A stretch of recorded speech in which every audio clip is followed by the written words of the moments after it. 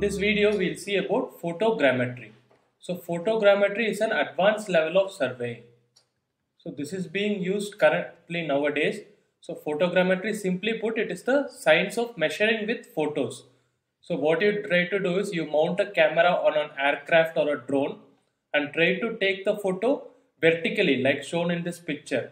And from this picture, you can get to know what is the scale of the photograph. Like here, one centimeter on the photograph will mean how much on the ground. If you know that, you can find out like distance or even you can find angles and elevation, which we'll be seeing later. So, photogrammetry is nothing but the science of measuring with photos so that you can determine the relative position of points. Same as surveying, here also in the end you determine the relative position of points. So the advantage here is that without even setting foot on the ground, you can find out the distances. So that is the main advantage here. So in case of difficult terrains, for those conditions, this will be very helpful. Like before laying out a highway on a difficult terrain, where it is very difficult to go and survey on ground, they usually do it by mounting cameras on aircrafts. So this will give you an idea how the terrain is and how you can plan your highway along the terrain. So mostly photogrammetry deals with aerial photos where you where you take the photos vertically like shown in the picture. So apart from that you also have terrestrial photos which is used very rarely which is from the ground surface itself. So here we should take care that these vertical photos when you take the axis should be as vertical as possible. Otherwise if it is even 1 degree tilted you might not get these distances accurately.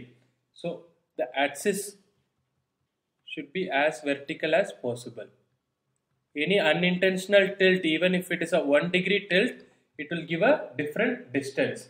So usually when they take these photos from a camera mounted on an aircraft like 1 to 3 degree tilt is often observed. And also when they take these photographs, it's like when you mount the camera on the flight, it will cover a certain portion. Then the flight keeps on moving. So it will cover one more portion and so on. Then it will complete one lap and then come back and cover the next set. Like that you can cover the whole area. So this flight should be planned accordingly. So as you can see from this photo, you can get only 2D coordinates. Like in case we need 3D coordinates, we try to take photos from different angles. It is like how we see images from the brain.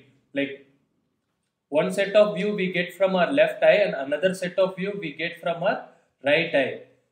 So from this we are able to have a perspective vision and judge the elevations etc.